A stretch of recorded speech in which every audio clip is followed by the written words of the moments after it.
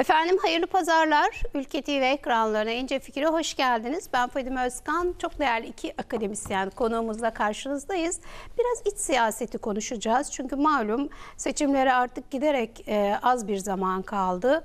E, Cumhur İttifakı'nda aday belli, projeler ve seçim beyannamesi, vizyon belgesini Sayın Cumhurbaşkanı ayın 28'inde açıklayacak. E, ve e, her iki partinin MHP ve AK Parti'nin bütün milletvekilleri teşkilatları sahada. E, bugün Özlem Zengin de yine bir parti çalışması dolayısıyla aramızda değil. Çünkü e, biliyorum ki Özlem dolayısıyla özellikle yakından biliyorum ki bütün milletvekilleri e, bütün sadece kendi seçildikleri bölgeye değil diğer e, şehirlere de çalışmaya gidiyorlar. Sahada halkı dinlemeye gidiyorlar. Bu nedenle Özlem bugün aramızda değil. Cumhur İttifakı böyle çalışırken Millet İttifakı'nda neler oluyor? En son işte önce Kemal Kılıçdaroğlu'nun sonra da İyi Partili bir heyetin Amerika Birleşik Devletleri'ne gerçekleştirdiği ziyaret var. Bu ziyarette bir kayıp 8 saat var Kılıçdaroğlu'nun yanındaki gazetecileri atlatarak bir hamburgercide hamburger yediği ve işte bir video çektiğiyle ilgili bir bilgi dışında herhangi bir bilgi yok. Bunun üzerinden yürüyen e, ve İyi Parti'nin de Kemal Kılıçdaroğlu'nu tiye aldığı, hamburgerler yemeye gitmiyoruz dediği bir ABD ziyareti oldu. Bunun anlamını konuşmak gerekiyor. Ee, tabii bu, bunun ötesinde çok e, e, sıcak bir gelişme. Aslında daha önce benzerlerini gördük. Ee, PKK'dan çıkan bir e, yalanın, bir iftiranın e, nasıl siyasi zemin bulduğunu CHP ve HDP e, vekilleri tarafından bunun sözcülüğünün yapıldığı e, bir iftira, kimyasal silah iftirasıyla karşı karşıya Türk Silahlı Kuvvetleri. Buna cevap verildi ama bunu bir açmak gerekiyor. Onunla da başlayacağız. Bir de elbette Kemal Kılıçdaroğlu'nun dün yaptığı bir açıklamada e, 20 yılda AK Parti iktidarının Türkiye'ye bir çivi çakmadığını, hiçbir fabrika açmadığını söylemişti. Öyle mi? Bunları bir konuşalım. Kimlerle konuşacağız? Hemen takdim etmek istiyorum. Sağ tarafımda İstanbul Teknik Üniversitesi öğretim üyesi Doktor Barış Erten var. Barış Bey hoş geldiniz. Hoş bulduk, sağ olun. Ayaklarınıza sağlık. Sağ olun. Ve Medipol Üniversitesi öğretim üyesi Doçent Doktor Abdurrahman Babacan. Abdurrahman Bey hoş geldiniz. Sağ olun, sağ olun, hoş bulduk. Ayaklarınıza sağlık. Ee, hemen e, şundan başlayalım. Bu Türk Silahlı Kuvvetleri'ne ilk atılan iftira değil. Ee, Türk Silahlı Kuvvetleri, jandarma, polis, emniyet çok başarılı bir terörle mücadele süreci e, yürütüyorlar. E, MIT neredeyse her gece ansızın birini paketleyip getiriyor yurt dışındakilerden. E, ama bir kez daha kimyasal silah kullandığı yalanı önce PKK'ya yakın medya organlarından, o kanallardan yayıldı. Sonra da HDP bunu sahiplendi. Sözcüleri açıklama yaptılar ve CHP'de hep özellikle bu tür e, açıklamalarda aktif olduğunu gördüğümüz Sezgin Tanrıkulu'nun e, bir e, meclis e, sorgusu yapılma, yapılacağını e, söylemişti. E, nedir bu? Türk Tabipler Birliği'nin başkanı Şebnem Korur Fincancı'nın bir açıklaması oldu ve bunu onayladı bir manada. E, Türk Silahlı Kuvvetleri de aslında bunu daha önce olduğu gibi yine hani bizim mühimmatımız böyle bir mühimmat, mühimmat yok. Kullanmıyoruz, e, hukuka uygun e, yürütüyoruz mücadeleyi deniliyor ama bir kez daha gündeme geldi. Neden geldi ve süreç nasıl işledi? Barış Bey e, sizden dinleyin. Aslında siz soruyu sorarken cevabını verdiniz sorunun içerisinde. E, terörle mücadelenin etkinliği. E, Türkiye özellikle son 2-3 yıldır, daha öncesi de var ama son 2-3 yıldır e, Suriye'de olsun, Irak'ta olsun, kendi toprakları içerisinde ama özellikle Suriye ve Irak'ta olsun çok başarılı bir terör mücadele yürütüyor. Operasyonları son derece başarılı ve kendi teknolojisini kullanıyor. Belki önemlisi bu. Kendi geliştirdiği teknolojiyi, kendi geliştirdiği mühimmatı kullanıyor. Ve bu e, bize gösteriyor ki artık Türkiye e, dışarıdan herhangi bir bağımlılığı olmadan, herhangi bir destek aramaksızın e, kendi imkanlarıyla terörle etkin mücadele etme yeteneğine sahip. E, bu tabii ki e, terör odaklarının kendisinde veya onun çevresindeki e, siyasi vesaire e, odaklarında e, bir panik sebebi olacaktır. Bu beklenen bir şey. E, sizin de ifade ettiğiniz gibi ilk defa olmuyor. Yani Evet. ben aşağı yukarı 5-6 yıldır şöyle bir e, hafızama baktığımda hemen 5-6 yıl öncesinden geliyor aklıma. E, sizin de ifade ettiğiniz milletvekili ismini anmaya gerek yok. Zamanında SİHA'ların insan suçu işlediğini, e, Avrupa e, Sivilleri İnsanlık Mahkemesi, katlettiğini evet, dünyaya İnsan Hakları Mahkemesi'ne yargılanması gerektiğini vesaire söylemişti. Milletvekili sıfatıyla bunu söylemişti. E, yakın zamanda Irak'taki bir saldırıdan gene Türkiye sorumlu tutulmuştu. Ki olmadığı ortaya çıktı. Sivillerin öldürdüğü bir saldırıdan. Türk Silahlı Kuvvetleri aşama yapıyor. Bence yapmasa bile gerek yok. Çünkü ya zaten Türk Silahlı Kuvvetleri'nin geçmişinde Allah'a şükür böyle bir şey yok. Yani dünyanın belki de en dürüst savaşan, en düzgün savaşan ve Evet, en mühimmatı... şeffaf bu manada da. Tabii ki. Ve mühimmatı gerçekten de en insani, en legal olan ordusu belki Türk ordusu. Dolayısıyla zaten Türk Silahlı Kuvvetleri'nin böyle bir e, savunmaya geçmesine gerek yok. Ama tabii kurumsal bir saldırı olduğundan dolayı gerekli savunmayı yapıyor, gerekli aşama yapıyor Türk Silahlı Kuvvetleri. E, yani bu, şunu söylemek lazım. Terör odakları ve çevresindeki işte STK görünümlü bazı yapılar e, bunu yapacaklar. Bunu artık bekliyoruz, biliyoruz. Zaten pratiğimiz var bu konuda. Ancak e, burada bizim dikkat etmemiz gereken siyasi partiler. E, yani özellikle Türkiye Büyük Millet Meclisi temsil edilen siyasi partiler. Evet. Her seferinde üzülerek görüyoruz ki e, bu söylemlere e, meclis içerisinden destek çıkıyor. E, ismini analım HDP başta olmak üzere e, zaman zaman CHP içer, ana muhalefet içerisinden bile Atatürk'ün partisinden dahi maalesef böyle şeyler çıkıyor ve bunlar yine maalesef e, genel başkanlık katından e, yalanlanmıyor veya düzeltilmiyor. E, bizim için bence esas tehlike bu.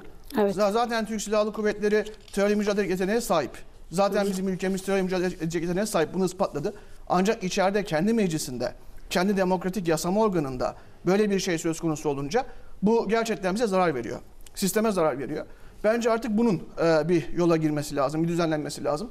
Ben her zaman aynı şeyi savunuyorum. Narzena doktor tezime bu konuda yazdım. Kürt meselesiyle ilgili yazdım. Ve e, şunu gördüm ki eğer Türkiye mücadele eden bir ülke ise ve e, kendi partisi e, meclisi içerisinde böyle yapılar varsa artık Türkiye'nin hukuk sistemini, kendi hukuk sistemini mümkün olan evrensel hukuka göre, mümkün olan en sert şekilde terörle mücadeleye göre tekrar konumlandırması lazım. Yani Batasuna yapılanları gördük İspanya'da. Ki Evet. Batasuna PKK'nın yanında ve PKK'ya destek veren partilerin yanında tırnak içerisinde çok masum kalan bir Evet. siyasi yapıydı. Yani ETA ile PKK'yı karşılaşamazsınız bile. Nasıl? Avrupa Parlamentosu'ndan tutukladılar alıp bazı Batasuna üyelerini. Yani madem Avrupa Birliği'nin bile, Batı'nın bile, demokrasi havalisi, Batı'nın bile e, böyle bir e, pratiği var. O zaman bizim de gene uluslararası hukuk içerisinde artık bu kanunlarımızı, kurallarımızı, hukukumuzu yeniden belirleyip bu konuya bir son vermemiz gerekiyor. Yani Türkiye içerisinde, parlamentosu içerisinde artık terör örgütlerinin söylemine destek verilmemesi gerekiyor. Hukuken bunun sağlanması gerekiyor. Bizim hukukumuzda maalesef burada bir açık var. Evet. Görebiliyoruz. Dokunulmazlık vesaire adı Evet. altında. Bir de e, siyasi partilere göre düşüyor. O da şu. Bu söylemlerin muazzez edilmesi lazım. Yani mesela CHP'nin, mesela İyi Parti'nin veya herhangi bir muhalif parti ve iktidar partisi fark etmez. İktidara gelmemek veya iktidarda kalmamak pahasına bile ben bu söylemlere destek veren siyasi partilerle birlikte olmayacağım. Onları bir kenara itiyorum deyip onları yalnızlaştırıp muazzez etmesi gerekiyor. Eğer biz bunu başarırsak bu işin üstesinden geliriz. Ee, ne yazık ki aksi olduğunu görüyoruz. Maalesef. Yani HDP ve öncülü siyasi partilerin e, PKK ile ilişkisi ya da konumlanışları başından itibaren hep aynıydı. Zaman zaman bazı partilerin hani kurulan e, bu silahlı e, siyaset yapan Kürt hareketi, Kürt hareketi de dememek gerekir. PKK terör Tabii örgütünün e, siyasi uzantısı olarak konumlandırılan, sivil alanda yer tutmak için konumlandırılan bu partilerin içinde belki hani, e, milletvekilleri ya da e, milletvekilleri biraz kamuoyunun önüne görünen daha işte barış yanlısı görünen, sanki silahla e, silahı reddeden e, isimler de zaman zaman oldu ama partinin konumu aslında hiç değişmedi ve ne yazık ki e, bunu artık hem kanıksadı Türkiye artık. Önceden hani en azından e, bize böyle demeyin biz e, silahla işimiz yok diyebiliyorlardı. Artık bunu bile demiyorlar. Deme ihtiyacı. Demece, deme ihtiyacı duymuyorlar artık kanıksandı herkes Evet, tarafından herkes biliyor ama öte taraftan işte e, yeni bir e, döneme giriyoruz meclis yeniden açıldı ve partilerin bütçeleri belli oldu E, kapatılmadığı için HDP e,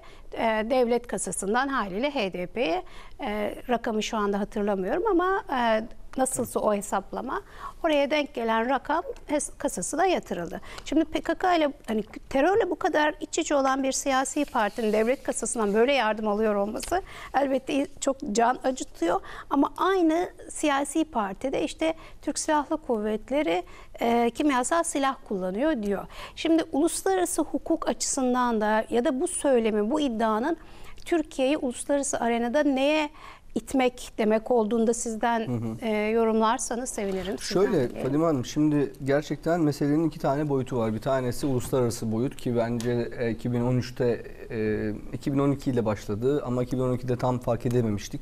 Belki fark edilen fark edenler de olmuştu. Sayın Cumhurbaşkanımızın bu konuda o ilk işaretleri va- ve- ve- veren cümleleri vardı. Fakat 2013'te Mayıs ayında Gezi Parkı hadiselerinden itibaren bizim aslında büyük mücadele dediğimiz bir mücadeleye başlamış olduk. Yani bu mücadelenin elbette ki siyasi e, ve askeri tarafı var. Askeri tarafında e, terör operasyonları, e, çok yoğunlaşan terör operasyonları ve belki de 15 Temmuz yakın tarihteki ben millet olarak almak gerektiği kanaatindeyim 15 Temmuz'u. 15 Temmuz'dan sonra devletin içerisinde de devletin farklı birimleri arasındaki entegre e, şey ha- e, alanların da iyiden iyiye artık birleşik hareket ettikleri, bir arada hareket ettikleri yani e, TSK, e, İçişleri, polis, jandarma, bu jandarmanın ve polisin istihbaratı, Milli İstihbarat Teşkilatı e, bunların e, belki bir üst koordinasyonda, Cumhurbaşkanlığı koordinasyonunda bir arada hareket ettikleri entegre bir devletle karşı karşıyayız. Dolayısıyla Türkiye'nin yakın belki Cumhuriyet tarihinde modern Cumhuriyet'le birlikte ilk defa gerçekleşen bir şey bu. Yani bu, bu, da- bu da belki çok iddialı bir cümle ama bunun ne olduğunu uzun belki başka bir zaman konuşuruz. Ama gerçekten Türkiye devlet olarak bu kadar entegre, bu kadar bileşik, bu kadar bir arada eşgüdümlü, koordineli hareket eden ilk defa bir zamana kavuşmuş oluyor ve dolayısıyla da hem içerideki terör opera- operasyonlarında işte İçişleri'nin yaptığı çok başarılı operasyonlar gerçekten çok yani Evet. o istihbaratın içişlerinin kendi içerisindeki istihbaratın alınabilip bunun sahada e, somut meyvelerin alınması. E, beraberinde Türk Silahlı Kuvvetleri'nin, jandarmanın e, beraber hareket ettiği içerideki terör operasyonlarından ciddi kazanımların elde ediliyor olması. E, geçen gün e, bir rakam aldım. 24 Temmuz 2015'ten itibaren sahada Türkiye içerisindeki yapılan terör operasyonlarının neticesinde 36.417 terörist e, Çok etkisi büyük hale getirilmiş. evet. Şimdi bu bu tabii terör örgütünün PKK'nın belki de ilk defa do- 80'li yıllardan itibaren e, bi- biz bu mücadele içerisindeyiz. 40 yıldır bunu konuşuyoruz. Hatta çokça konuşuldu ya hocam e, e, ya işte acaba etkin mi? Mesela 90'lı yıllardaki bir sürü terör faaliyetinin e, artısı neydi, eksisi neydi? Faydası neydi, maliyeti neydi? Çok büyük maliyetleri ve çok büyük eksileri yazdı bize aslında. Yani baktık ki da, e, hani şey tabirle dağlara, taşlara bombalar atılıyormuş. Uzun yıllar. Hiçbir Evet. karşılığı olmadan fakat bu bombaların karşılığında o bölge halkının uğradığı zulüm neticesinde devlete bir nefret, devlete bir öfke ve nihayetinde işte içinden çıkamadığımız, uzun yıllar içinden çıkamadığımız Kürt meselesinin o derinleşen durumuyla karşılaştık. Dolayısıyla bu bize şunu gösteriyor. Türkiye ilk defa böylesi bir entegre etkin politika yürütüyor. Aynı zamanda dışarıda da yürütüyor.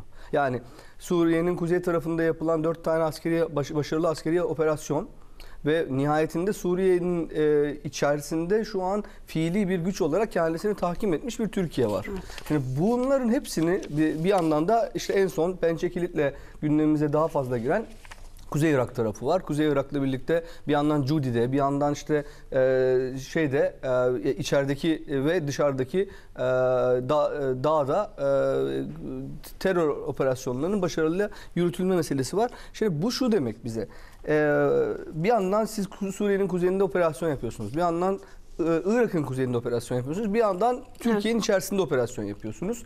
E, bu doğal olarak siyasi zemine yansıyacak. Yani askeri başarılarınız veya geçmişte olduğu gibi askeri başarısızlıklarınız siyasi zemine size yansıyacak. Şimdi askeri başarılar siyasi zemine şöyle yansıyor. Az önce e, konuşuldu. Muhalefet partileri üzerinden tabii ki bunun başat şeyi HDP. Yani şöyle söyleyelim. Şimdi e, Türkiye'de bir bir kavram kargaşası var. PKK ile arasına mesafe koyması istenen bir HDP var. Evet. Şimdi PKK ve HDP ilişkisi böyle bir ilişki midir? Önce bunu sormak lazım. Böyle bir ilişki değil. Yani e, bunlar hiyerarşik olarak aynı düzlemde olsalar bu hiyerarşik düzlemde birbirleri arasına mesafe koymasını bekleyebileceğimiz iki aktör olarak HDP ve PKK'yı konuşabiliriz. Fakat HDP bizatihi PKK'nın iradesi tarafından kurulmuş bir yapı. Ya ve PKK ilk üst yapı olarak ardından kurdurduğu KCK üzerinden hem şehir planlamasını hem kır planlamasını hem dağ planlamasını bunlar üzerinden KCK üzerinden yapıyor ve KCK'nın da kurdurduğu alt birimler var. Bunlardan bazıları işte Bir DTK var. paralel devlet yapısı aslında Tabii tabii KCK. çok inanılmaz bir hiyerarşik Tepeden yapı. aşağıya, Hiyer- evet. İnanılmaz bir hiyerarşik yapı. Şimdi ve bunların altında da işte DTK var, DVP var, işte HDP de onlardan bir tanesi. Dolayısıyla bu hiyerarşinin e, PKK'nın en üstte olduğu bu hiyerarşinin alt taraflarında onlar üzerinden yürüyen bir şeye şeye denk düşüyor HDP'nin pozisyonu. İşte ya da kendilerinin kurdurduğu bir takım e, tırnak içerisinde e, sivil toplum kuruluşu görünümündeki sivil e, yapılanmalar. İşte e, İstanbul Büyükşehir Belediyesi'nin içerisine e, bir, bir takım böyle dernekler üzerinden e, PKK dağ kadrosundan içeriye alınan isimlerden bahsettiğimiz Evet, evet, dernekler evet. mesela. Bunlar bunlar total bir organizasyon. İşin hem siyasi ayağına bakan tarafı var DTK, HDP gibi. Hem sivil organizasyon tarafına Diyamder vesaire gibi şeylere bakan taraf var. Hem de askeri tarafta zaten PKK, KCK bu işi yürütüyor.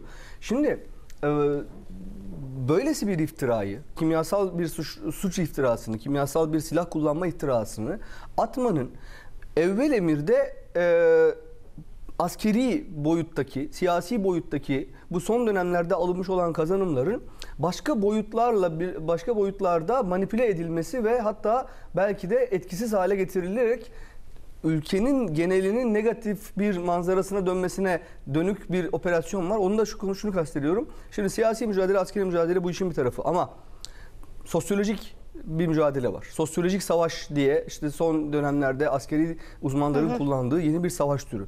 Psikolojik savaşı zaten biliyorduk. Yani soğuk savaş döneminden beri psikolojik savaşın ne olduğunu biliyoruz. Özellikle de sosyal medya ile beraber Twitter, daha ziyade Twitter. Bu psikolojik savaşın iletişim kanalları üzerinden nasıl işlediğini, nasıl manipülasyonlara, dezenformasyonlara, suçlamalara, yalan ve iftiralara çok böyle kar topu etkisiyle dönüştüğünü gördük. Ama sosyolojik savaşı ben biraz daha önemsiyorum son dönemlerde. Biraz, biraz böyle bir çok yeni, çok postmodern bir savaş türü sosyolojik savaş. O da şu. Şimdi terör örgütleri değişen durumlara göre kendilerini adapte ediyorlar. PKK da bu konudaki adaptasyonunu son dönemde hem psikolojik savaş unsurlarını, iletişim, Twitter vesaire kullanarak hem de sosyolojik savaş unsurlarını etkin hale getirmiş bir örgüt. Bunun benzerini biz FETÖ'de de gördük. FETÖ aslında bu anlamda hem psikolojik tarafı Evet. olan hem de sosyolojik tarafı olan bir terör örgütüdür. Ama PKK'nın yaptığı şu. PKK doğrudan doğruya sahada sahada şiddet ve terör eylemlerinin e, hüküm ferma olduğu bir e, yapı olarak, onu domine eden bir yapı olarak şunu yapıyor. Kamu düzenini yıkarak sosyolojik alan tahkimatını yapmaya çalışan ve bunun üzerinden bir kendisine yeni bir sosyolojik alan açmaya çalışan bir örgüt PKK. Ve şunu kastediyorum.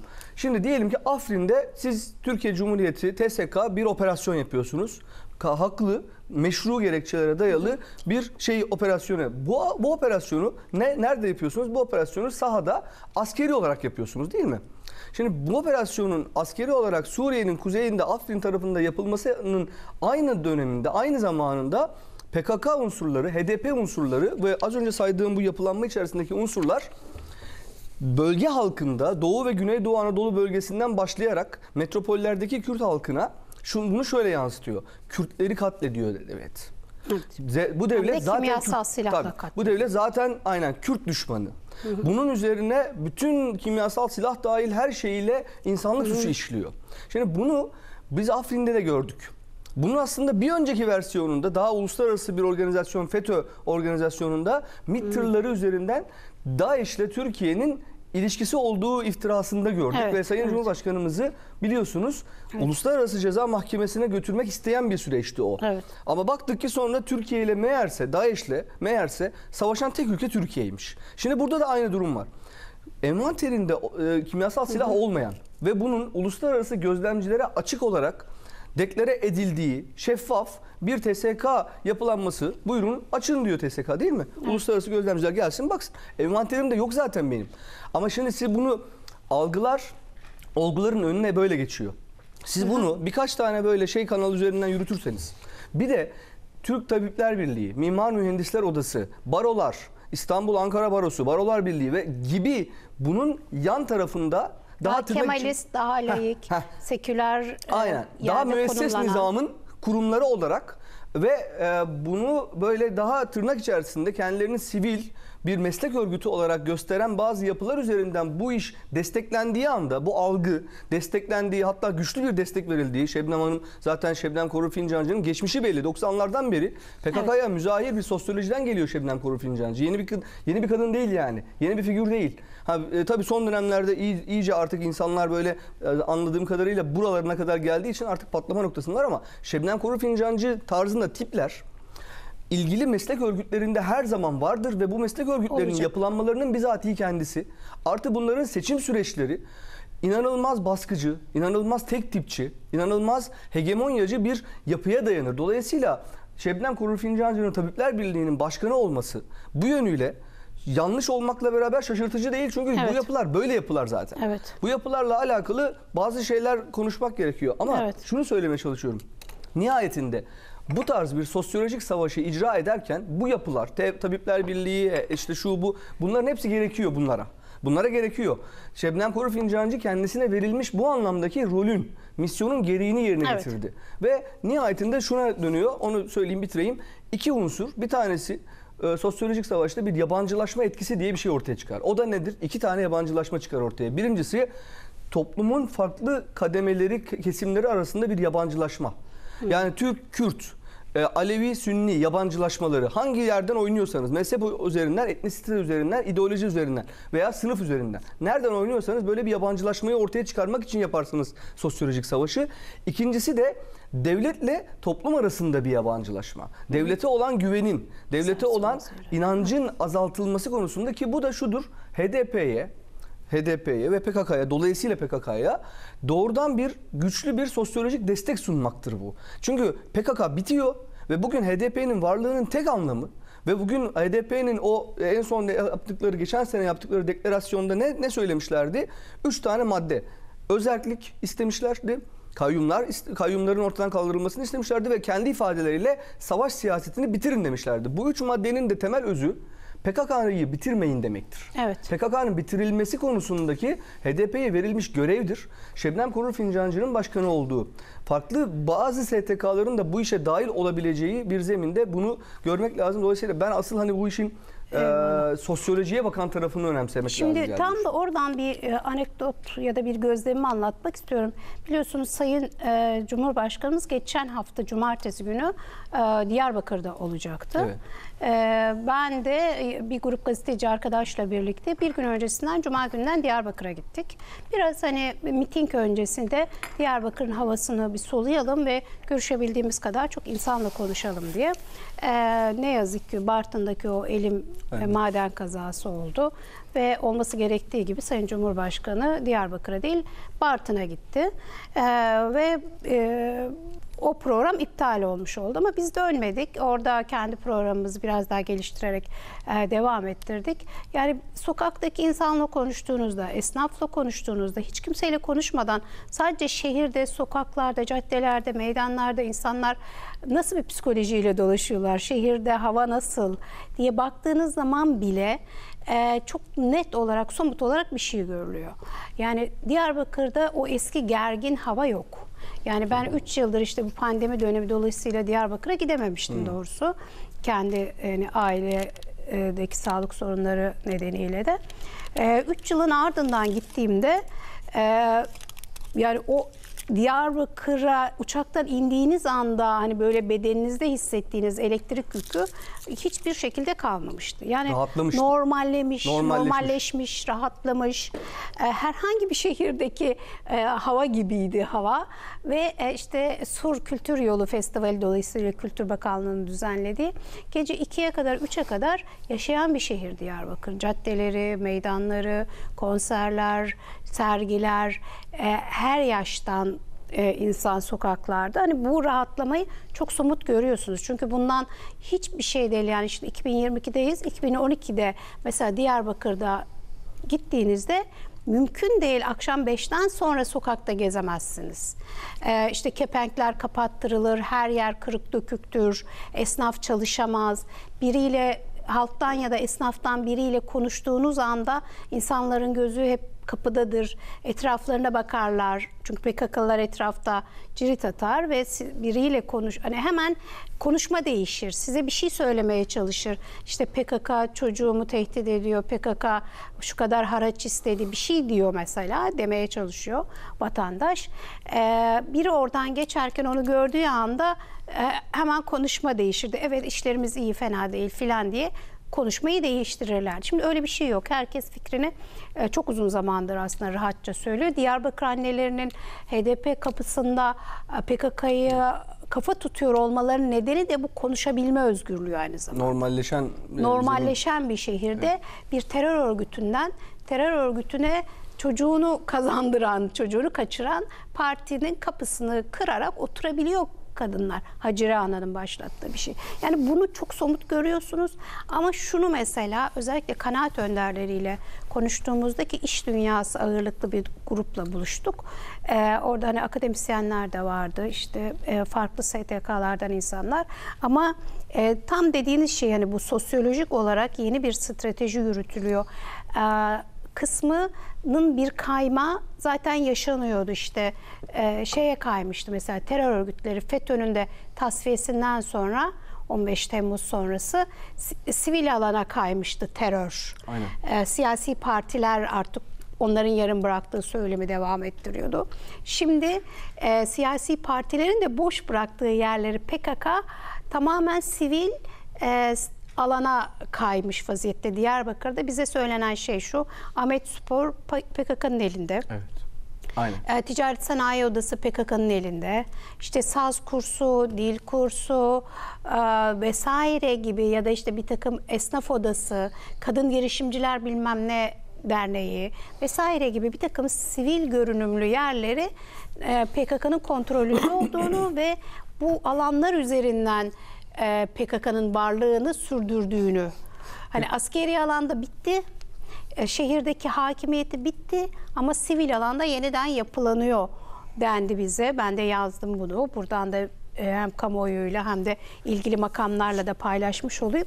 Yani Çok doğru. yeniden bir oluşum ve yeniden bir yerde vücut bulma Şey hali mesela bu. söyleyeyim Fadime Hanım çok doğru. PKK epey bir zamandan beri özellikle 2010'lu yıllardan itibaren yani o işte çözüm süreci zamanında demokratik alanın açılmasını tırnak içerisinde istismar ederek Evet. kendisine yontarak e, kültüre ve sivil alana kaydı.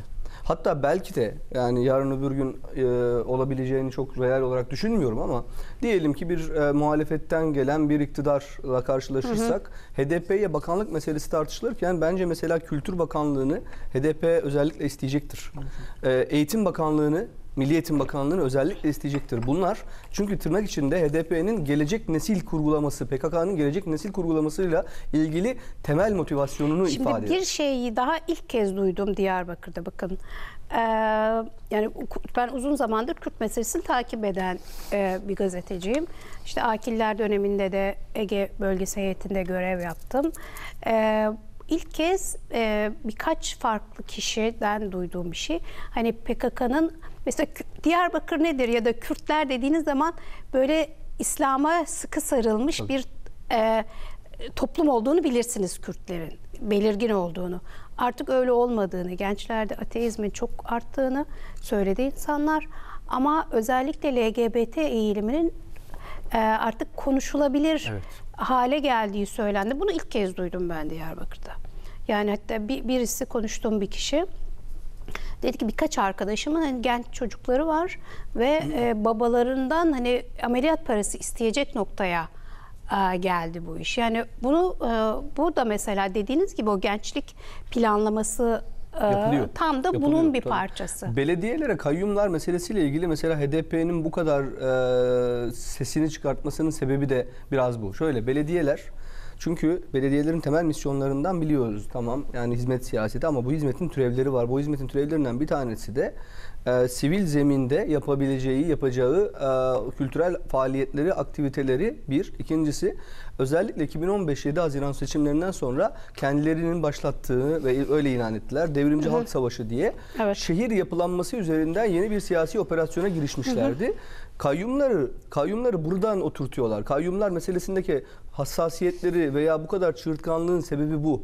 Yani belediyeler üzerinden oradaki sivil yapılanmalar ve kültür yapılanmaları üzerinden sosyolojiye nasıl bu işi yayabiliriz ve sosyolojiye nasıl hakim olabiliriz ve orada kendilerince bir e, bundan sonraki sosyolojik gelecek için bir şey hazırlıyorlar. Bir zemin Evet, hazırlıyorlar. evet. Dolayısıyla e, bu hikaye yani Şebnem Korur Fincancı tarzında tiplerin e, o tarz yapıların buna dışarıdan çok verdikleri çok güçlü destek de bu büyük fotoğrafla alakalı E, yoksa sadece Şebnem Korur Fincancı'nın kendi PKK'lığıyla tabii. ilgili değil yani. Kendisi zaten PKK'nın sosyolojisinden gelen bir kadın yani. Çok Şimdi- şaşırtıcı değil. E, çok haklısınız. Şimdi Sayın Cumhurbaşkanı'nın e, Diyarbakır ziyaretiyle çok ilgili olduğunu düşünüyorum bunun. Çünkü Evet. Sayın Cumhurbaşkanı bugün Diyarbakır'da. E, bir dizi açılış var. E, hatta sayıyı görebilirsem söyleyeyim. E, 12 milyar 341 milyon 821 bin liraya mal olan e, 140 ayrı projenin açılışı yapılacak bugün Diyarbakır'da. projenin. 140 projenin açılışı yapılacak. Zaten Diyarbakır o kadar değişmiş ki. Şu 3 yılın içinde bile o kadar değişmiş. Sur özellikle o kadar değişmiş Yakın ve zamanda bir Diyarbakır'a gitmemiz gerekiyor. yani acilen gitmek gerekiyor. Çünkü 3 yıl içinde bu kadar değiş nasıl değişti bu kadar? Hani e, Sur e, PKK'nın yuvalandığı bir yerdi. Sadece PKK'nın değil aslında bütün suç örgütlerinin yuvalandığı işte uyuşturucu da dahil olmak üzere. E, onların hepsi temizlenmiş ve tarihi zenginliğin açığa çıkartıldığı bir düzenleme yapılmış. Şimdi bu kadar 140 yeni e, açılış yapılacak ama Diyarbakır cezaevi de kapatılacak. Yani biz gezebildik Diyarbakır cezaevini. Tutuklular çıkartılmış hükümlüler içinden. Görebildik son haliyle. Tabii ki çok ürper. Yani şöyle bir şey. O cezaevinde 1980 darbe sonrası orada yapılan işkenceler 40'tan fazla insan işkenceyle hayatını kaybetti ve dün ben Star gazetesi için Orhan Miroğlu ile bir röportaj yaptım. Orhan Miroğlu da 6,5 yıl orada kaldı ve o da çok ağır işkencelerden geçirildi. Ee, onlara şahit olan birisi. Mesela onun da söylediği bir şey. Ee, Diyarbakır cezaevinden çıkanların en az yarısı PKK'ya katıldı deniyor. Yani doğrudan PKK için insan üretilen e, yer gibiydi darbe yönetimince. Bu, bunun üzerinden yorumunuzu alabilir miyim Barış Bey? Aslında bu Diyarbakır cezaevi olayı da hocamın ifade ettiği gibi işin sosyal boyutu. Yani terörün sosyal boyutu, insan kaynağı. Ben de e, o konuyu araştırırken gerçekten de e, Diyarbakır cezaevindeki kötü muamelenin, işkencenin vesaire ve ölümlerin e, PKK'ya 1980'lerin başında insan kaynağı oluşturduğunu, 84-85'teki Hakkari saldırısında e, bulunan teröristlerin çoğunun da e, geçmişinde Diyarbakır cezaevi olduğunu biliyorum. E, önce oradan Suriye'ye e, kaçtılar. Beka Vadisi'ne. Kaçabilenler orada eğitildiler ve daha sonra Türkiye'ye döndüler. 85-86'da terör patladı zaten. Evet. e, Askeri açıdan patladı diyelim yani sağda patladı diyelim. Yoksa 70'lerin sonunda Var. zaten Kürt O sivil zaman- siyasetini sahadan kaldırmıştı PKK. 50'lerden beri var aslında. Yani Evet. Türkiye'de öyle bir eğilim 50'lerden beri var. Yani Soğuk Savaş sonrasından beri var. 70'lerde Apocular diyorlardı PKK'ya. 80'den sonra PKK haline geldi. BK Vadisi'nde ortaya çıktı ifade ettiğiniz gibi. Hatta 80 darbesinden bir şekilde haberdar edildi e, Öcalan ve Suriye'ye kaçtı. Bunu da çok iyi biliyoruz. Evet. E, yani o dönemleri ayrıca konuşmak lazım. Bir program boyunca Çünkü konuşulur. bu tam da bizim çocuklar başardığının devamı ve tezgahıyla Tabii olan ki bir yani şeydi. orada Hafız Esat'ın da e, rolü büyük. Onu da şey yapmak lazım. E, dediğim gibi ayrıca konuşulur. Uzun uzun konuşulur. Lakin evet Diyarbakır cezaevinin sosyolojik açıdan PKK'ya insan kaynağı olduğu kesin. Bu tartışılmaz. E, her türlü aslında bölge insanına yapılan her türlü kötü muamele PKK'ya destek sağladı, insan kaynaklarından destek sağladı. Zaten e, AK Parti'nin e, çözüm sürecinden başlayarak olaya yaklaşımı buradan kaynaklanıyor. AK Parti belki Türkiye'de bunu fark eden veya fark etse bile e, uygulayabilen tek siyasi parti oldu. Yani e, konuya yalnızca askeri çözüm odağından yaklaşmak yerine bunun insan kaynağını kesmek, e, bölgeye sosyolojik hizmet götürmek, kaliteli memur götürmek, kaliteli kamu götürmek, kaliteli siyaset götürmek ve mümkün olduğu kadar PKK'yı düz ovaya tırnak içerisinde çekmek. Yani siyasete çekmek, legal siyasete çekebilmek, Kürt siyasetini yani PKK'yı legal Kürt siyaseti yapmak. Aslında. PKK ile Kürt vatandaşını ayırt Kesinlikle. etmek. Zaten bunu demek istiyorum. Yani PKK'yı bir tarafa koyup onunla askeri mücadeleyi yürütüp e, insan kaynağı sağlayan sosyal etkenleri yok edip e, legal bir Kürt siyaseti oluşturmak tırnak içerisinde. E, AK Parti'nin başından beri şeyi buydu. Maalesef bunu e, çözüm sürecinde birazcık e, anlatamadı.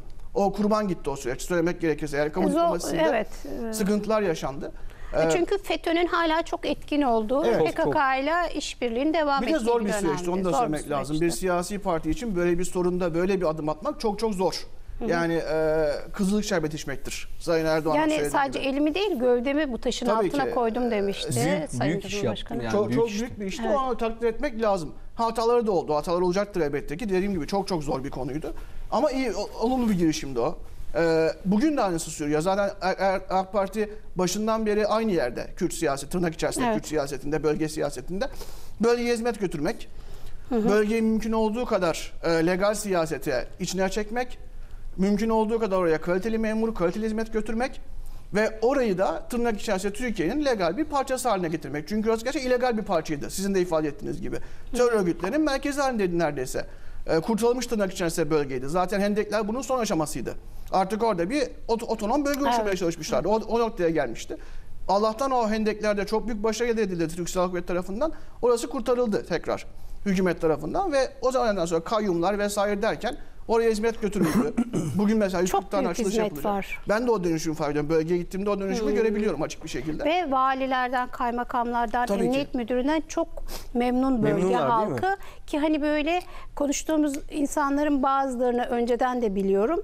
Hani e, Kürtlerin bağımsız olması gerektiğini savunan insanlar bile e, bunu söylüyor yani teslim ediyor. Yani çok memnunuz, çok çalışıyorlar. Tabii ki yani deniyor. o açıdan ben de yani AK Parti siyaseti hiçbir sakınca, hiçbir yanlış görmüyorum. AK Parti siyaseti doğru siyasettir. Yani gerçekten de terör sorunu yalnız PKK değil, genel anlamda terör sorununu ortadan kaldıracak bir siyasettir. İnsan kaynağını kesmek, mümkün olduğu konuda legal siyasete çekmek ve terör kapsamında olanlarda asker mücadele yürütmek e, doğru şeydir, yöntemdir. İngiltere de bunu yaptı İRA'ya karşı. İspanya ETA'ya karşı bunu yaptı. Ve Evet. başarılı da olundu. E, dolayısıyla bugün de 140 tane açılış yapacak yani az önce içerisinde Kürt insanı tırnak içerisinde farklı bir etnik yapı olarak bakmadı. Türkiye'nin bir parçası orası AK Parti için ve İstanbul neyse Diyarbakır'da odur. Bunu da görebiliyoruz. Yani bir kitle partisi. AK Parti'nin başka zaten lüksü yok. Evet. Bir kitle partisi AK Parti. E, Erdoğan da hiçbir zaman bunu ayırmadı. E, ancak e, şu da bir gerçektir ki e, etnik e, düşünceler içerisinden oy veren bir kitle de var. Yani HDP'ye etnik etnik e, dürtülenme içerisinde oy veren bir kitle de var. Bunu da görmek lazım. Bunu doğal karşılamak lazım. Siyasette bunun da yeri var. Tabii. E, bizim yapmamız gereken bunu asla tırnak içerisinde terörle bağdaştırmamak. Yani HDP'ye oy veren, çeşitli sebeplerle oy veren kitlenin hepsinin tırnak içerisinde PKK ile ilişkisi olduğunu varsayımını bir kenara itmek kesinlikle. Kürtlerle PKK'yı net bir şekilde ayırmak. PKK'nın bir terör örgütü olduğunu, e, Kürtlerle, Kürt etnisi alakası olmadığını, hatta ve hatta zaten büyük Malatya'da teröristlerin yarısı bile Kürt değil bugün. Evet. E, bir sürü insan çıkıyor öldürdüğünüzde. 36 binden fazla şey belki de yarısı Kürt bile değildir. Evet. İçinden Ki paralı asker çıkar. yabancı evet. Paralı asker çıkar. Biz açıklayamayız ama paralı asker çıkar. Onu biliriz. Eminiz. Dolayısıyla e, bu açıdan baktığımızda e, AK Parti'nin politikası doğru.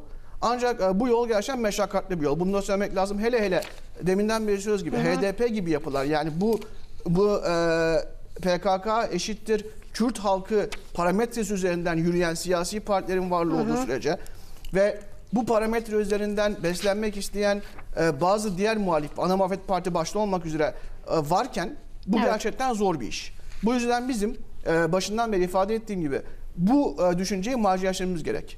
Yani e, bu e, HDP denen yapının veya başka bir yarın başka bir siyasi kapanır, başka bir siyasi parti olur. Zaten Demokratik Bölgeler Partisi Tabii ki. hazırda tutuluyor. Zaten hep öyledir. Yani 80'lerden beri e, birisi kapanır, birisi açılır. E, aşağı yukarı ki- kitlesi de aynıdır. Değişmez. Yüzdesi, yüz- yüzdesi bile aynıdır. E, bu e, şeye, duruma şöyle yaklaşmak gerekiyor. Sözümü bu bence nacizane. Senin e, terörle aranda mesafe yok. Adın ne olursa olsun.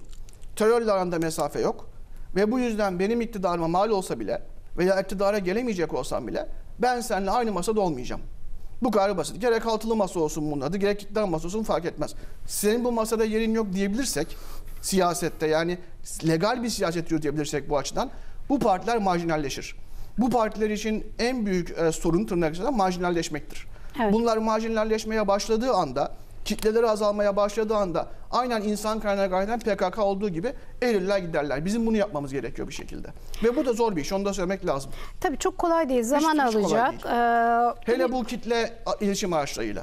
Ona da ayetten Evet, evet. gelmek gerekiyor. Yani bu manipülasyon zaten hani e, yasası çıktı vesaire ama tabii işlerliği yine çok zor Bakınız ve ne kadar netice alacağız Sözünüzü kesim. Orada açılımdaki hatayı yapıyoruz. O kanunu da biz olması gerektiği gibi, biz derken ben de onu destekliyorum kanunu. Olması gerektiği gibi aktaramıyoruz kamuoyuna. Evet. Onun tırnak içerisinde bugün e, kesin bir şekilde sansür e, amacıyla kullanacağına inanan çok genç bir kitle var. Evet, kötü bir uygulayıcının elinde bu gerçekten olabilir belki de ama yani terörden tutun e, cinayetlere kadar, e, şiddet olaylarına kadar o kadar kötü amaçlı kullanılıyor ki Türkiye'de. Manipülasyon amaçlı kullanılıyor ki sosyal Evet. medya. Buna bir dur demek lazımdı. Ha, Geç yanlış oldu. kalındı. Hala eksikleri olduğunu düşünüyorum. Ben de destekliyorum. Bazı açık yönleri var. Onların biraz ve çerçeveye geç, ka- kavuşturulması ve lazım. hani Evet. geç kalındı. Ee, Ama diplomasi önemli. Yani Evet. insanlar ne olduğunu bilmeli bu konuda. Evet. Şimdi bir bilgi aktararak e, konu başlığını değiştirmek istiyorum aslında. E, Şimdi hani PKK HDP ilişkisi üzerinden hep konuşuyoruz. Konuşulması gerektiği de zaten malum. Ama mesela e, PKK geçti, geçen hafta içinde HDP üyesi ve delegesi olan bir kişiyi İnfaz infaz etti.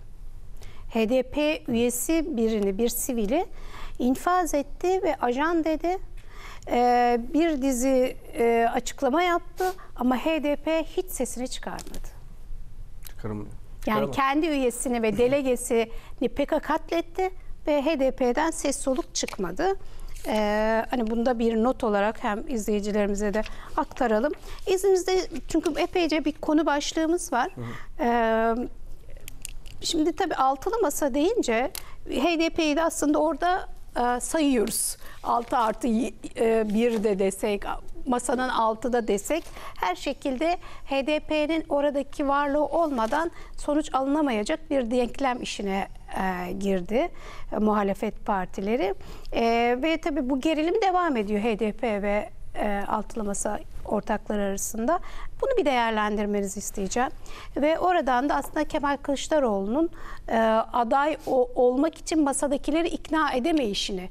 Yani herkesin Cumhurbaşkanı olmak istiyor ama masada ortaklaştığı partileri kendi adaylığına ikna edemeyen bir aziyet içerisinde. Bunu konuşalım. Şöyle şimdi e, bu altılı masayla alakalı birkaç tane açmaz var başlık olarak. Birincisi Cumhuriyet Halk- Partisi ile İyi Parti. iki tane en büyük paydaş diyelim. En büyük paydaşlar arası e, bir anlaşmazlık var. Anlaşmazlığın temel kilit noktası Kılıçdaroğlu, Sayın Kılıçdaroğlu'nun adaylığı meselesi. Sayın Kılıçdaroğlu'nun adaylığı çok net ki e, CHP elitleri açısından, CHP A takımı açısından ve e, onlar üzerinden de belki artık süreç içerisinde iyice Sayın Kılıçdaroğlu'nu da ikna ettikleri anlaşılıyor. E, Kılıçdaroğlu'nun e, aday olma e, stratejisi, kullandığı siyasi dil, e, tekil dil, e, başkanlık kampanya süreci yönetiyor uzunca bir zamandan Evet. beri kendince.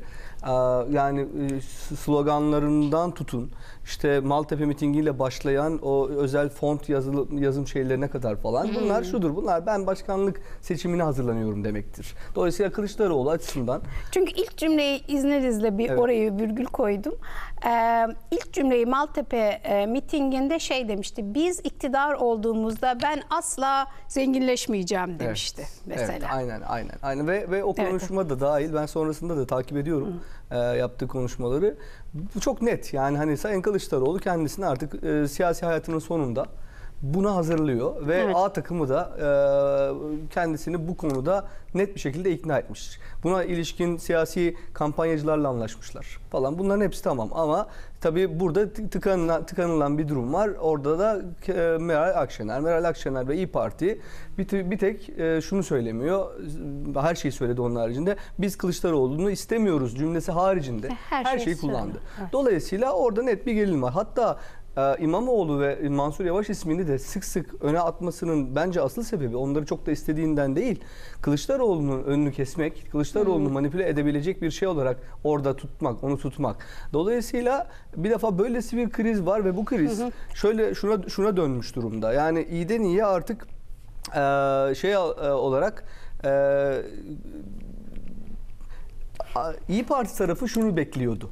Evet Kılıçdaroğlu çok arzulu, çok istekli ama biz net bir direnç koyarız.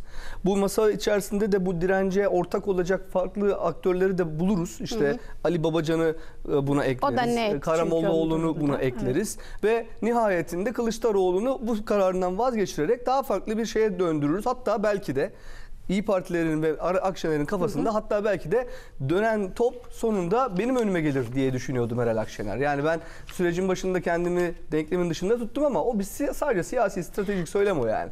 Ee, Akşener'in adaylığı hala söz konusu Tabii mu? bence Çok bence bence, bence söz konusu. Bence söz konusu. Akşener çok istiyordur adaylık. Çok istiyordur net yani.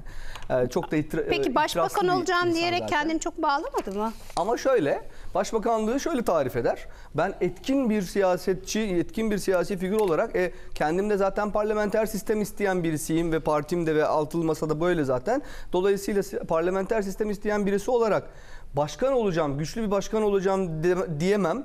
Dolayısıyla güçlü bir figür ve ülkenin ana yürütücüsü olacağım. Yürütme erkeğinin yine başında olacağım. E bunu da parlamenter sistem isteyen birisi olarak parlamenterizmdeki karşılığı olan başbakanlık. Aslında bu muhalefet cephesi bileşenlerinin tarif ettiği e, Cumhurbaşkanı da öyle etkin, güçlü bir Cumhurbaşkanı değil. Değil. Yani Zaten o hepsinin ist- tabii, ortaklaştığı biri olacak ama o altı liderin e, çok affedersiniz hani ipini elinde tuttukları biri olmak e, olmasını tarif ediyorlar Aynen, aslında. aynen. Şimdi bu gerilim Sayın Kılıçdaroğlu o kadar ileri attı ki artık adımlarını. Yani İyi Parti'nin beklediği gibi gel, geç, gelişmedi. Ee, İyi, Kılıçdaroğlu da şöyle düşünüyordu muhtemelen kendi zaviyesinden ve CHP'nin A takımı. Ee, ya süreç içerisindeki dirençleri kırarız. Dirençler kırılır ve ama ikisi de olmadı. Dolayısıyla tıkanmış durumda. Ciddi bir kriz var, ciddi bir gerginlik var. Artık iyiden iyiye yani biz hamburger yemedik diye gülerek son derece müstehzi ve bence hiç de yakışmayan. Evet. Yani o yani böyle e, çok e, e, olgun tavırları işaret etmeyen böyle yaklaşımlarla birbirleriyle dalga geçerek yani birisi genel başkana bir Cumhuriyet Halk Partisi Genel Başkanı'na İyi Parti Genel Başkan Yardımcısı, dış ilişkilerden sorumlu Genel Başkan Yardımcısı Ve dalga geçiyor. diplomasiyi bilen, diplomatik dili diplomat, bilen, eski, eski, diplomat, bir diplomat olan bir, bir, bir insan rağmen. dalga geçiyor. Ve bu dalgayı da kameralar önünde yapıyorlar. Şimdi bu bu şu demek aslında. Yani ortada e, o masa zaten yani e, masanın şeyi gitmiş. Ma- masayı bir arada tutan bir e, maya var idiyse o bitmiş zaten. Şimdi dolayısıyla bu şunu gösterecek. Sayın Cumhurbaşkanı Erdoğan e, burada şunu söylüyor. Diyor ki "Aa, tamam ben diyor madem siz de siz böylesiniz. Kılıçdaroğlu'nun pozisyonu bu. Akşener'in pozisyonu bu. Ben de siyasi hamlemi yaparım. Hadi buyurun. İddia, iddialıysan madem çık karşıma ve projelerimizi konuşturalım diye bir siyasi hamle yaptı. O da şu e, anlamda. Şimdi Kılıçdaroğlu buna e, tamam hadi buyurun dese masa fiili olarak gidecek. Fiili olarak dağılacak masa. Ee, peki buna hayır yani buna cevap veremese ve nihayetinde başka bir aday çıkarılırsa bu sefer de en başta kendi kitlesi başta olmak üzere bütün Türkiye ve Cumhurbaşkanlığı seçim süreci boyunca Sayın Cumhurbaşkanımız Sayın Kılıçdaroğlu'na dönüp de sen herhangi bir şey e, söyleyecek bir pozisyonda değilsin. Sen daha aday bile olmadın. Otur oturduğun yerde anlamına gelebilecek bir kampanya dili Evet. yürüt- yürütecek. Şimdi bu açmaz kendi aralarında o kadar büyük bir açmaza döndü ki nihayetinde gelinen noktada e, şuna vardı iş. Hani altılı masayı biz ilk bir araya getirdiğim get- getirdik şöyle deniyordu. Biz ilk bir araya getirdik. Ee, Bizim için önemli olan ilkeler, adaylık falan değil, ortak aday isim değil. Hala da bunu söylüyorlar ama sonuçta şu var. 7 ay geçti. 28 Sekiz Şubat'tan ay. 8 ay değil mi? 28 Şubat'tan tabii 8 8 ay ya- yaklaşık geçti. Fakat ortada güçlendirilmiş parlamenter sistem önerisi dışında ilke anlamında söyledikleri hiçbir şey yok. Ki parlamenter sistem tanımı da denk Çok değil kötü. birbirine. Çok Ee, Barış Evet. Hocam ben onunla ilgili iki tane ayrı makale yazdım. Evet. İnanılmaz büyük teorik açmazlar var. Ciddi teorik çelişkiler. Teorik. Açıklayamıyorlar Pra- Pratiği yani. zaten evet. teorik. Hayata nasıl geçeceğiz? Zaten Pratiği sorun zaten çok ama zor. Tarif ettiklerinde Tabii. de düzgün tarif Orada da edemiyorlar. Orada Evet. en temel mesela soruya cevap vermiyorlar. Cumhurbaşkanını kim seçecek kardeşim? Halk mı seçecek? Sizin önerdiğiniz sistemde yoksa meclis mi seçecek? Yani ben halka güvenmiyorum mu? Yeniden bana getirmiş oluyorsun. Güçlendirilmiş parlamenter sistem önerisini ayrı konuşalım ama gerçekten inanılmaz teorik açmazlar ve Aslında çelişkiler bunları da var. konuşmak gerekiyor. Biraz sıcak gündem üstünden programlar Tabii, yapıyoruz tabii, ki Türk tabii. televizyonlarına ne zaman baksam hep sıcak gündem ve biraz o ona öyle dedi, bu buna böyle dedi konuşuluyor.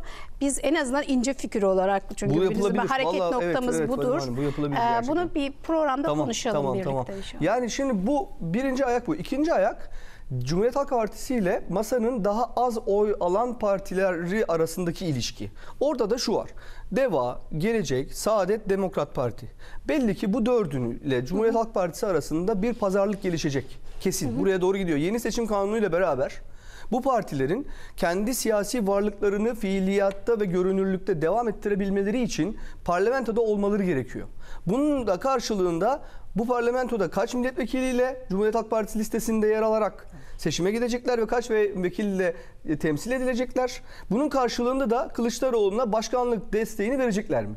Şimdi bu konuyla alakalı da böylesi bir e, süreç gelişecek ve mevcut diğer dört küçük e, o, daha az, oy- az e, oy alan partilerle alakalı temel kaygı şu an ben ne kadar vekil koparacağım. Evet. Mesele bu. Üçüncü boyut en önemli boyut bence nihayetinde işin rengini de kendileri açısından belirleyecek olan çünkü o olmadan başkanlık seçimini kazanma ihtimalleri yok. Aritmetik olarak da yok. HDP ile olan ilişkiler boyutu. Evet. HDP ile olan ilişkiler boyutunda şöyle bir durum var. Şimdi İyi Parti'nin konumu oldukça e, bence çelişkili bir konum. Cumhuriyet Halk Partisi'nin konumu çok daha e, artık karar vermiş gibi görünüyor Cumhuriyet Halk Partisi. Ben HDP ile birlikte yol yürüyeceğim kararı var. Çok net. Her konuda var. Kaldı ki HDP'nin de zaten tercihi Kılıçdaroğlu. Tabii. Kılıçdaroğlu. Yani hatta İmamoğlu da değil Ve yani. HDP'den Diyar, Diyarbakır özelinde HDP'den CHP bir oy kayması olduğunu Tabii, da tabii. duyduk. Gö- ge- muhtemelen şey yapmışsınızdır. Zaten o oy geçişkenliği son dönemde e, net ve bu süreçte de Kılıçdaroğlu özelinde HDP'nin bir net bir e, pozisyonu var. Kılıçdaroğlu özelinde. Yani Mansur Yavaş'ı falan zaten demiyorlar.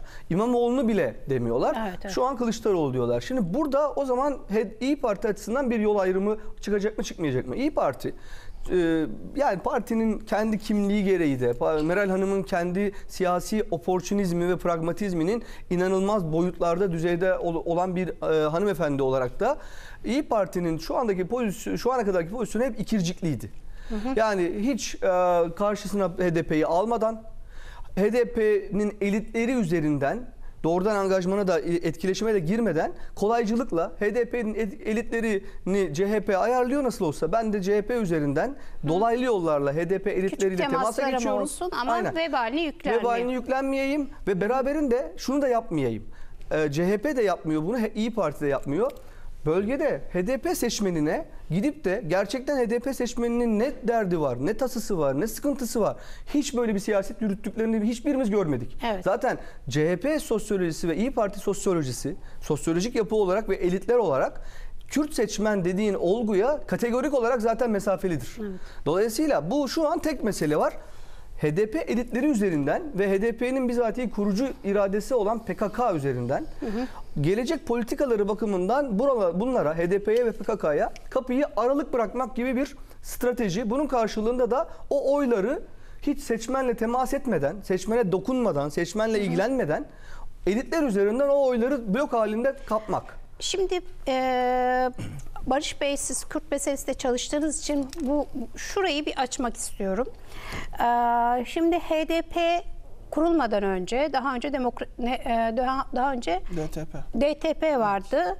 E, DTP'den sonra HDP kuruldu. BDP, DTP, BDP, HDP. Ee, o HDP kurulurken Türkiye Partisi vurgusu ilk kez oldu. Daha önce işte yüzde altı buçuk oy alan ve bölgeye sıkışmış, bölge dışında oyu olmayan bir partiydi. Sonra dendik biz Türkiye Partisi olacağız ve o altı buçuk da kilitlenip kalan, o eşikte kalan e, oy e, %10'a çıktı HDP projesiyle ve şunu gördük HDP'nin e, bileşenlerine baktığımızda işte içinde LGBT örgütleri var, içinde e, sol radikal örgütler var, e, işte Figen Yüksekdağ gibi e, neydi onun partisinin MLKP. MLKP'den. MLKP terör örgütü de onun bir siyasi partisi vardı. SDP miydi? Ha evet evet evet. Ee, yani legal alanda MLKP'nin bir siyasi yapılanması vardı. Dolayısıyla hani sol, radikal sol, keskin radikal, e, teröre ya- yakın, yatkın solla e, HDP e, tabanı, Kürt taban birleştirildi bir manada. Bunu hatta şöyle e, bence çok veciz ve çok da isabetli bir ifadeyle e, söyleyen yazarlarımız olmuştu, düşünürlerimiz. Dendi ki e, Kürtlerin kütlesi üzerine, Kürtlerin gövdesi üzerine bir radikal sol kafa oturtuldu. HDP bu demektir. Kürtlerin oyuyla sol din yani işte ateist, e, işte sol, Marjinal sol. sosyalist, LGBT'lerin e, siyasi emellerine Kürtlerin oyuyla ulaşılacak e, deniyordu. E, hala bunu görebiliyoruz aslında. C, e, mesela CHP'den HDP'ye oy geçişi olmuştu. Şimdi HDP'den CHP'ye bir oy geçişi bölgede görülüyor. Bunu bir değerlendirir misiniz? Şimdi bu konuyu inceleyenler için aslında bu yabancı bir sosyoloji değil. Ee, Türkiye'de tırnak içerisinde Kürt hareket dediğimiz siyasi hareket zaten son içerisinden çıktı. İşçi Partisi içerisinden çıktı. Daha acayip konuşalım. Devrimci Doğu Kültür Ocakları üzerinden 60'ların sonlarında çıktı. Öcalan da bunun bir parçasıydı. Yani hatta İşçi Partisi'nin 12 Mart'tan sonra kapatılmasının sebebi e, bu bölgeye destek vermesiydi. E, Anayasa Mahkemesi kararı böyle. Biz genellikle onu e, sol olduğu için kapandı diye algılarız. Ama bundan dolayı kapandı. Karar metni budur. Dolayısıyla zaten o e, solun kuluçkasından çıkan bir yapı e, Kürt hareketi. Tabii ki daha sonra kendisi bir taban buldu ifade ettiğiniz gibi. Etnik bir taban buldu. Onun üzerinden devam etmeyi tercih etti. Daha sonra da 80'den sonra terör sarmalıyla e, tırnak içerisinde dirsek teması oldu. Ve 2010'lara kadar geldi böyle diyebiliriz. 2010'lardan sonra e, bir e, Türkiye'de, Türk özellikle 2014'ten sonra Türk siyasetinde e, bir e, değişim yaşandı. O da e, Cumhurbaşkanının partili olup olmaması. Cumhurbaşkanının partili olması ve daha sonra da yavaş yavaş bu %50 artı 1 konusu gündeme geldiğinde e, HDP gibi yapılar artık e, tabanlarını genişletme e, ihtiyacı duydular. Yani artık bir bölgeye e, sığmaktan ziyade 6,5-7'ye sığmaktan ziyade Türkiye'lilik vurgusu yapmaya özen gösterdiler. Ve e, o dönem için e, konjonktür buna müsaitti. Açılım süreci henüz aşağı yukarı etkisini devam ettiriyordu. Kitle iletişim araçları, e, özel sosyal medya çok etkin kullanıyor. HDP ve e, bileşenleri fark etmişsinizdir. Evet. E, bunlar e, çeşitli STK'lar, e, işte STK diyebileceğimiz meslek örgütleri. Yani bunlara STK ne kadar bilmiyorum. Mesela e, Türk Tabipler Birliği. Türk Tabipler Birliği üye olmazsanız doktorluk yapamıyorsunuz. Yani üye olmazsanız mesleğinizi icra ede- edemediğiniz bir yapı bence STK'dan fazlası. Onu bir tanımlamak lazım. Biz STK diyoruz da orada bir Değil açık var bence. Evet. Yani Kamu artık uzantısı var. ya, e, kamu uzan artık Kamu, ona farklı ya- bir yarı kamu, bak- yarı kamu. Evet, Yarı kamu ve yani bak- Türk adını biraz ona dayanarak alıyor aslında ama son derece istismar ederek Ya bir yandan o e, o gücü kullanıyor. Kamu uzantısı olma gücünü kullan- kullanıyor. Bir yandan da STK özelliğini kullanıyor. Öyle bir boşluk kullanıyor. Ve bu barolarda vesaire de var. Hocamın da ifade ettiği gibi. E bunları da çok iyi kullandı HDP. E, eskiden beri solla, 70'lerden beri solla olan e, yol arkadaşlığını da hatırladı. Onu da kullandı. E bir de bunun üzerine gerçekten de çok e, uygun bir konjonktür vardı. Yani Erdoğan gitsin de ne olursa olsun Seni başkan yaptırmayacağız. Evet mantığı üzerinden. Evet ne olursa olsun o başkan olmasın da ne olursa olsun mantığı üzerinden hazır bir masa vardı önünde. Aslında Gezi'de e, onların şeyleri bağlandı birbirine. Tabii. Gezi Parkı'nda Bu bir yerde- görünürdü yani. Bir yerde Parka bağlanacaktı. baktığınızda Bir yerde görüyordunuz. bağlanacaktı. Ab- Abdullah Öcalan e, posterleriyle Kalpaklı Atatürk Tabii ki. e, ba- bayraklar yan yana Yeni sallanıyordu. şey değil mi? Evet. E, tabii ki yani bunun bir yerde zaten bir araya geleceği belliydi. Bu zaten bekleniyordu. Dediğiniz gibi Gezi'den sonra hızlandı ama 15 Temmuz'dan sonra özellikle 15 Temmuz'dan sonra şeyler belli oldu. Yerler belli oldu.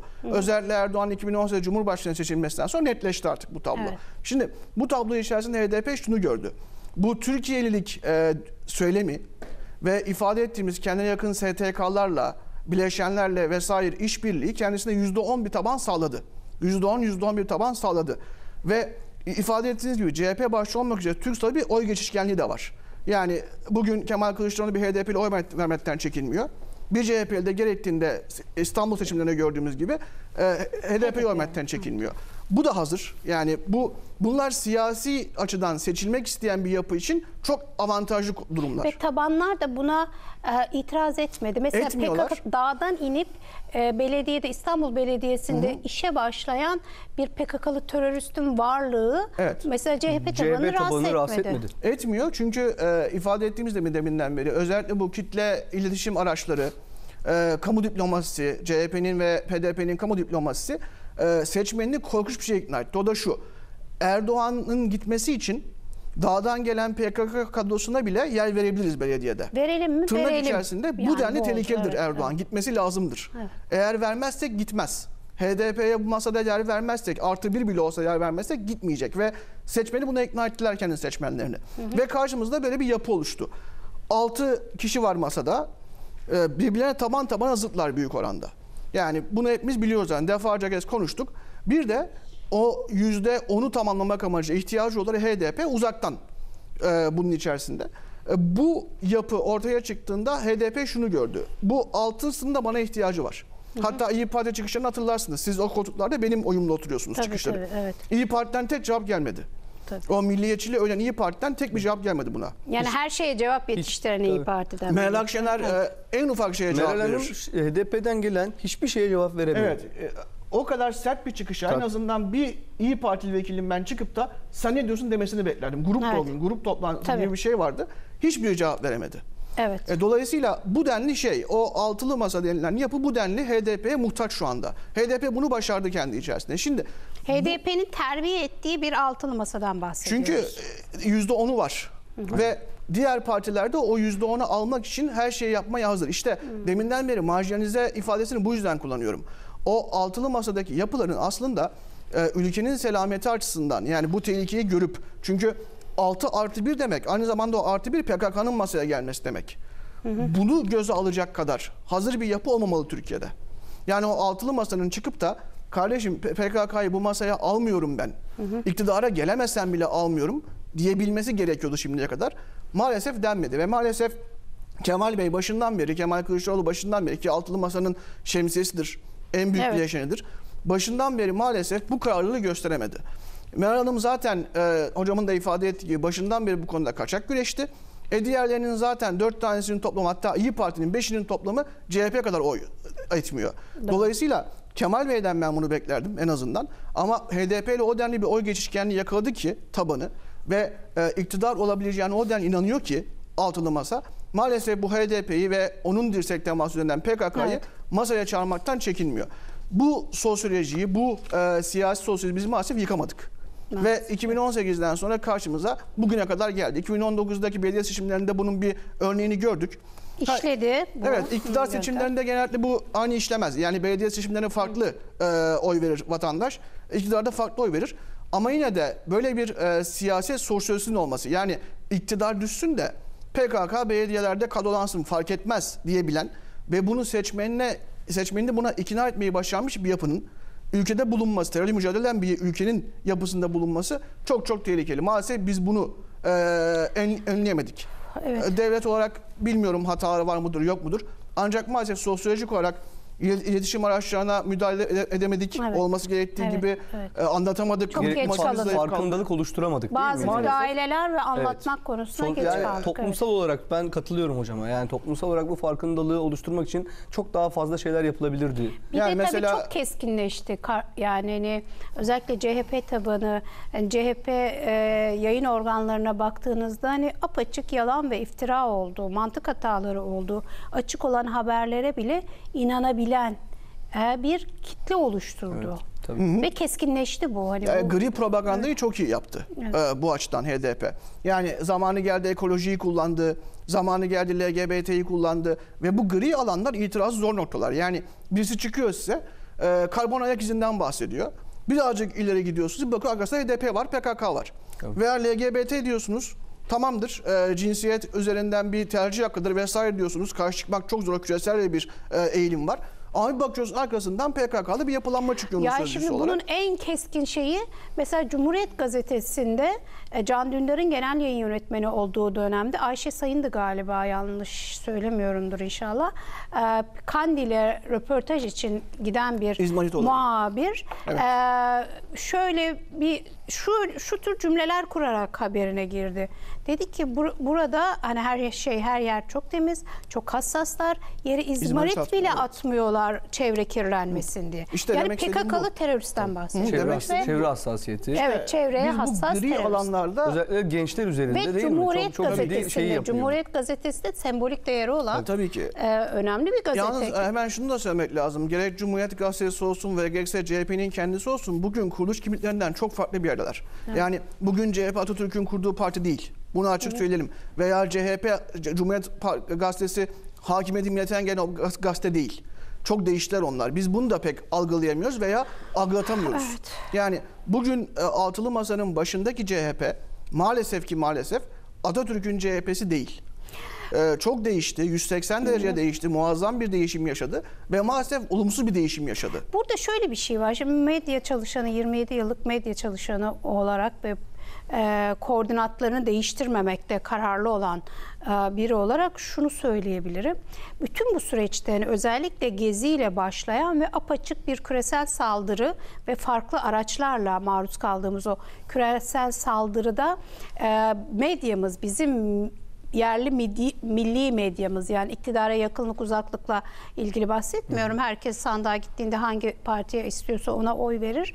Ama hani vatanını seven ve bu ülkenin üzerine yapılan planlamaların farkında olan gazetecilerin eee, bir gazeteci olarak söylemek istiyorum ki anlatıldı aslında. Bizim medyamız e, bu konuda önemli bir sınav verdi. Çok mücadele edildi. Yani kendi çabamı bir kenara koyuyorum. Bu konuda ciddi bir çaba verildi ama o kadar çok olay ve o, ka- o kadar sık e, bir şekilde karşı karşıya kalındı ki o bütünlük ve etki gücü çok planlanamamış oldu. Hani orada öyle bir kaybımız oldu. Yoksa e, bir etkisi gücü olduğunu o, teslim etmek gerektiğini düşünüyorum. Ya, işte şu anda yaptığımız gibi yani hani, e, çabalanıyor aslında. Bu tabii ki ama bu yani için. konvansiyonel medya boyutunda olacak bir şey değil. Sosyal medya boyutunda da bunun olması gerekiyor. Hukuki alanda da bunun olması gerekiyor. Akademide STK, değil mi? Evet. akademi bunların hepsinde Bunun yani- magazini bile olması gerekiyor Tabii ki yani aslında. total manada bir şey yapılması gerekiyor. Yani bugün e, PKK'yı alttan alta destekleyen bir fake hesap, tırnak içerisinde fake hesabın bile bu kadar takipçisi olabiliyorsa sosyal medyada buradan bir e, çözüme ulaşıp bunun önüne alınması gerekiyordu. İletişim Başkanlığı biraz bu amaçla kuruldu aslında. Alt birimleri de var. Ama dediğiniz gibi çok geç kalındı, çok geç fark edildi ve artık e, bu altyapı hazırlandıktan sonra yani bu kitle oluştuktan sonra maalesef Şimdi bu yapıldı. sansür deniyor buna işte. Sansür Ben deniyor ve mesela- inandırılabiliyor maalesef. Şöyle bir örnek de vereyim. İşin başka bir tarafında. Aa, geçen bir e, bu ara işte başladığım bir HDP analizi, uzun bir HDP analizi ya- yazmaya. O vesileyle e, İngilizce literatüre şöyle bir bakayım dedim. İngilizce literatürde HDP PKK e, meselesiyle alakalı bazı anahtar cü- kelimeler yazdım. İşte e, akademik e, arama şeylerine. İşte HDP, bunun açılımı, PKK, e, KCK, e, işte e, Kürt hareketi vesaire falan gibi böyle anahtar şeyler yazdım. E, akademik manada özellikle İngilizce literatürde HDP'ye e, ve PKK'ya karşı yazılmış olan e, neredeyse yayın yok gibi. Ya gerçeği yazsalar Gerçeği işte Gerçeği o zaten yazmıyor. gerçeği yazsan Evet, karşı. nötr baksan objektif baksan gerçeği ne olduğunu yazsan yani bir ya bir terör örgütünü 40 yılda kaç tane e, 50 binden fazla can almış, e, evet. can almış bir sürü terör faaliyeti yürütmüş. Bu faaliyetlerin bütün her şeyi, dökümanı, envanteri açık iken buna rağmen PKK ile HDP ile bu tarz yapılanmalarla alakalı objektif yazan objektif ya objektif yazan İngilizce yazı e, makale sayısı oransal olarak bakıldığında abartmayayım ama yüzde beşi geçmiyor. Yüzde beş var yok değil ama yüzde beş ya da on. Yüzde doksan oranında inanılmaz bir şekilde PKK övgüsü. Tabii. barış, barış tabii, hareketi. Tabii tabii, bir, bir, bir barış Terör- hareketi, terör bir, bir ama barış özgürlük hareketi. hareketi. HDP'nin o kavramsal seti, hocamın çok yerinde gerçekten ekoloji. İşte kadın, Kadın hakları, kadın hakları, feminizm. kadın, ekoloji, gençlik, Cinsel eğilim. Ö- cinsel, Cinsel- eğilim cinsel ve, özgürlük, ve evet. özgürlük. İn- İnanılmaz kullanılıyor özgürlük. Özgürlük, özgürlük. Yani şimdi Direkt karşı çıkması mümkün olmayan konular. Tabii. E bunlar, Gri alanlar. E bunlar, Evet. bunlar nedir? Bunlar aynı zamanda hakikaten karşı durulması gereken bir kültürel, bir entelektüel, bir fikri, bir e, şeye dayanması lazım ki biz bu alanda gerçek hakikati e, ortaya koyabilecek mevziler kazanalım. Tabii. Bu mevzileri hocam çok haklı ben de katılıyorum. Akademik manada da bu mevzileri e, çok kazanamamışız. Hocam zaten siz de çok daha iyi biliyorsunuz. Bugün PKK ile HDP arasındaki ilişkiyi gerçek manada yüksek lisans doktora tezi yaparsanız oy birliğiyle geçmez diyor. Geçmez. Evet. Ki ben de aynı sorunu yaşadım Tabii, doktora tezimde. geçmez. Onu da söyleyeyim. Oy çokluğuyla geçebildim. Yani bir tane hocam açıkça olmaz dedi bu dedi. Allah'tan oy çokluğuyla geçtim, geçebildim. Evet. Ya hiç kimse o riski almaz. Açık Ya söyleyeyim. zaten mesela e, akademide o kadar yok ki. Yani ben hani bu bu 27 yıllık gazetecilik hayatımın nereden baksanız 10 17 yılını belki siyasi e, meselelere, siyasi röportajlar yapmaya e, vermiş bir insan olarak söyleyeyim. Literatür yok. Yani akademide bir e, ne Kürt meselesiyle ilgili ne PKK terör örgütüyle ilgili o kadar yok ki. Belki yeni yeni biraz var ama tabii geç kalınıyor. Yok, bir de şöyle- izin verilmiyor. 40-50'den İzin sonra. Bir de şöyle tam e, Fadime Hanım gerçekten ben hani akademisyen e, meslektaşlarımızı da tamamen eleştirmek için söylemiyorum ama bir yandan da şöyle bir şey izin verilmiyor. Şöyle bir şey. Mesela diyelim ki siz e, akademik olarak ilerlemeniz için bunu izleyicilerimiz çok detayını bilmez, çok detayda vermeyeceğim ama izle- e, şey yapmaz. Akademik olarak iz- e, ilerleyebilmeniz için doçentlik, profesörlük falan bunlarla ilgili ciddi puanlar gerekiyor. Bu puanları vere, veren dergiler var. İşte SSEI dedikleri dergiler var ve bu dergiler sizin bu meselede PKK aleyhine yazdığınız hiçbir makaleyi yayınlamıyorlar. Tabii mümkün değil.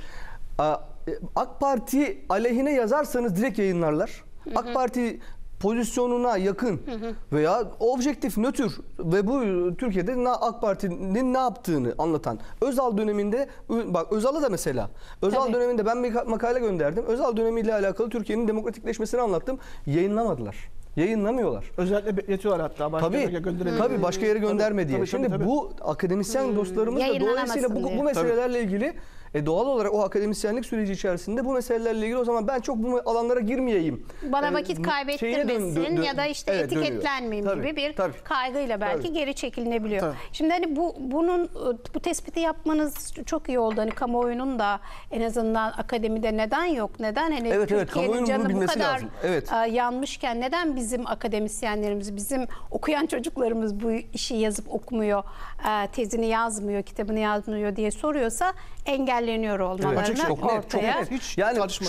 tartışmasız. iyi bir Amerika'da, İngiltere'de veya başka bir yerde veya Türkiye'de bazı üniversitelerde iyi bir doktora tezini böyle alanlarda yazamazsınız. Mümkün değil. Şimdi mesela sosyal medyada, e, dijital medyada e, ki genelde Amerika e, çıkışlı olan e, yerlerde e, LGBT'nin Türkiye için oluşturduğu bu yeni tehlike, aile için oluşturduğu yeni a- e, tehlikeye ilişkin bir şey söylemeye, yazmaya görün. Hemen YouTube'dan kaldırılıyor mesela. tabii, tabii. E, Değil mi? Videolar devreye kaldırılıyor. giriyor. Algoritma devreye giriyor. Ee, yayından kaldırıyorlar Tabii. temel. Sadece algoritmanı e, işte Google'a yazınca ilk çıkan sırada sıralama değil, tamamen Evet, kaldırılıyor. algoritmaya gerek görmüyorlar artık. Bir de Ee, şöyle ve oluyor. Hani Çok- bu- bunun gibi bir engelleme o Tabii, zaman tabii. Bir e, de şöyle oluyor. İşin, yapıyor. işin sosyal medyaya ve kitle iletişim araçlarına yansıması da şöyle oluyor. Barış Hocam meseleyle ilgili bir şey yazdı. Sistematik ve organize bir şekilde Barış Hocam'la alakalı inanılmaz karalayıcı e, şeyler, e, entry'ler giriliyor. Ama mesela tersinden Şebnem Korur Fincancı. Yani alalım. Yazın, evet. Şebnem Korur Fincancı isminde Evet, bir evet. ismi alalım.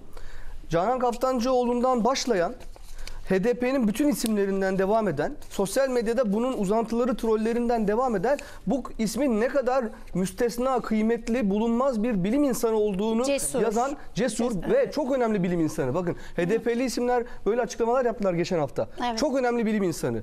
En işte bulunmaz bir bilim insanı falan. Şebnem Hanım bulunmaz bir bilim insanı oluyor. Bunu Abdurrahman Babacan yazınca, bunu Barış Hocam yazınca, bunu ABC yazınca o zaten akademisyen olmuyor. değil Akademisyen bile değil o. Evet. Dolayısıyla bunlar böyle bir sistemli bir şey. Yani onu e, vatandaşlarımızın bilmesi lazım. Ee, bu- bu, çok sindirici bir şey. Onu da söyleyeyim. Bir süre sonra yoruluyorsunuz ve bırakıyorsunuz bu işi. Yalnız mı? ka- Tabii ki yalnız kalıyorsunuz? ve bırakıyoruz. Diyor- diyorsunuz bunu ki benim de- aşmanın yolu nedir? Hayır aç, aşmanın yolu yok. Artık bu dakikadan sonra ben bundan Şu an zor. Şu an çok zor. Çünkü e, akademide köşe taşları Tabii. bu tipler tarafından tutulmuş. Yani bunun için bir 10 yıl mı lazım? 20 yıl mı Yani lazım? süreç Na- ilerledikçe biraz daha bir de insanlarımızın tabii o e, organize hareket etme gibi karşı tarafta mesela bu organize hareket var. Bu organize sistemli hareket ediyor. Şimdi think tankler bu konuda bir rahatlama sağladı sanki. Yani düşünce Tabii, doğru. kuruluşlarının raporlamaları, e, hani e, tabii bilimsel dergilerde yayınlanan e, makaleler, oradan alınan puanların o akademisyenin e, kullanabilmesi ayrı şey ama kamuoyunun bilgilendirilmesi ve bu konuda bilimsel yayınların yayınlanabilmesi açısından bence düşünce kuruluşları önemli bir Çok açılım çok sağladı. çok kıymetli. Biz Evet. de çok faydalanıyoruz zaten. Evet, düşünce kuruluşları çok Rapor kıymetli. okumaktan artık başka kitap okumaz hale geldik. Tabii ki yani bunların bu sürede. online yayınlanması, e, erişime açılması bunlar çok kıymetli. Zaten biz de çok faydalanıyoruz. Hem kamu oluşturmak açısından hem de bilimsel katkı açısından. Ancak ya şurada bir gerçek. Örgün eğitim eğer sizin tarafınızda değilse o zaman e, bir kazanım elde edemiyorsunuz sonuçta. Çünkü esas insan kaynağı oradan çıkıyor. Bu üniversiteden mezun hocamın ifade ettiği bu ortamdan çıkan kişiler daha sonra yüksek makamlarda bürokrasinin içerisinde yer alıyor. To- e, kamunun içerisinde yer alıyor. Ve oradan sonra bakıyorsunuz bürokraside garip garip tavırlar. E, işte Evet. hastanede garip garip tavırlar vesaire garip garip tavırlar. Mesela Evet, e, fincancı da o şeyden çıktı. Ak- akademiden çıktı. Tabii. Tıp fakültesi içerisinden Tabii. çıktı. Yani Çapadan. dolayısıyla tabii, Tabii. ki de- öyle öyle. Evet. Yani bu yani Maalesef. bunlar gerçekler. bu ama o bunlardan rahatsız olmaya var. gerek yok. Tabii ki yani. Şimdi kalan vaktimizi e, şuraya açmak istiyorum. E, hani bi- bilimden, akademi dünyasından bahsettik ve e, Cumhuriyet Halk Partisi Genel Başkanı Kemal Kılıçdaroğlu o altılı masanın da lideri pozisyonunda şu anda muhalefetin lideri pozisyonunda E, ve buradan kalktı E, Amerika Birleşik Devletleri'ne gitti. Yanında götürdüğü bazı gazeteci arkadaşlar vardı. Sonra onları atlatarak bir 8 saat e, kayıp bir 8 saati var. Ee, ki tam da e, Pensilvanya dolaylarındayken kayboldu. Ee, bunu konuşuyoruz zaten bir haftadır. Ama e, mesela bununla ilgili bir kılıf da şöyle söylendi. Dendi ki işte bir bilimsel vizyon kazanmaya gitti. Orada önemli bilim adamlarıyla görüştü. E, görüntülere ve görüşmeler listesine baktığımızda e, nasıl bir verim alınabildiğine ilişkin benim çok ciddi soru işaretlerim oldu. Çünkü orada 8-9 tane üniversite öğrencisiyle buluşmak, e, ya da işte bir iki tane bilim adamıyla buluşmak. Bunun için ta oraya gitmeye gerek var mıydı? Nasıl bir vizyon kazanmış olabilir?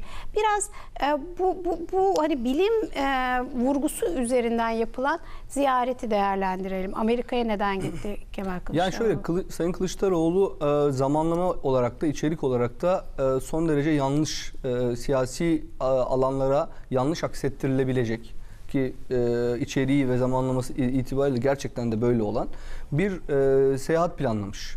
Demek ki bunu göze alarak yapması gereken bir seyahat yaptı. Evet, evet aynen. Yani bu buna bu şimdi bu kadar zam, şimdi şöyle düşünün.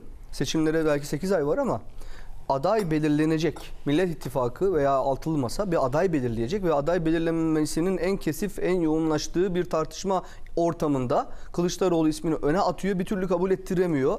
Destek bekliyor. O desteğin nereden geleceğiyle alakalı kuşkuların olduğu, soru işaretlerinin yaşandığı bir ortamda herkesin sağına soluna baktığı bir zamanda Sayın Kılıçdaroğlu o desteği Amerika'dan almaya gidiyor gibi bir izlenimle böyle bir icazet meselesi üzerinden çok rahat bir şekilde ifadelendirilebilecek bir e, seyahat yapıyor. Şimdi Amerika Birleşik Devletleri'nin Türkiye siyasi hayatını e, akademik olarak bilmesi gerekmiyor. Yaşayan, bilen bütün insanlar Türkiye siyasi hayatında Amerika'nın dahlinin, rolünün, etkisinin e, neler olduğunu bütün darbe süreçlerinde, bütün sıkıntılı zamanlarda Amerika'nın direkt müdahale eden bir ülke, bir aktör, emperyal bir emperyalist bir aktör olarak bilir. Dolayısıyla Amerika Birleşik Devletleri'ni Türkiye'nin en kritik seçimlerinden bir tanesi olan 2023 seçimlerinde Cumhurbaşkanı adayı olarak namzeti olarak kendisini ifade eden bir ismin e, e, Amerika'ya ziyareti zamanlama olarak bir defa bu. İkincisi içerik.